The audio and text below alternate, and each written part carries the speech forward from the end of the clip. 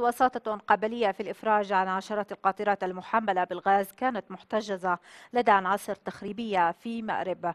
وتحدثت المصادر أن وساطة مكونة من عدد من المشائخ تمكنت من إقناع العناصر التخريبية بالإفراج عن القاطرات المحملة بالغاز بعد أن كانت تحتجزها منذ مساء الجمعة.